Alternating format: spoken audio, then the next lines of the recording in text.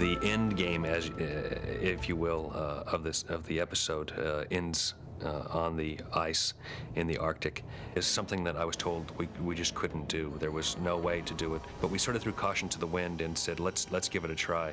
Uh, to do that, we had to truck in 140 tons of snow onto a soundstage, refrigerate the soundstage for five days, and uh, we built a conning tower that rose up and down only five feet. It never actually sunk into the ice as it appears. So we had all kinds of restrictions. We had to shoot it as Arctic night. We had to shoot it against black backdrops. There were just restrictions galore. Yet somehow that crew is always pulling off uh, just the most amazing feats.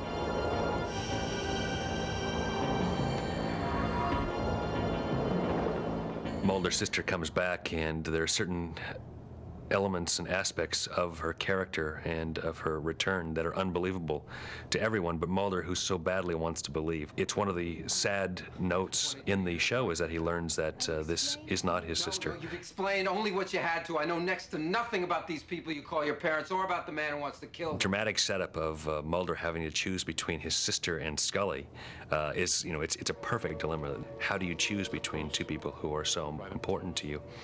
And ultimately, uh, Mulder chooses Scully because there is some doubt whether or not it is his sister. It's really one of those nervous moments for the audience and for Mulder that uh, you, you want to see play out. I think that Endgame really for me, along with Colony, is the backbone of the show, the romantic quest for Mulder to find the truth, and for and for Scully as well. This also enlisted her in his quest and in her own uh, way to believe that there may be a conspiracy to keep something from the American public.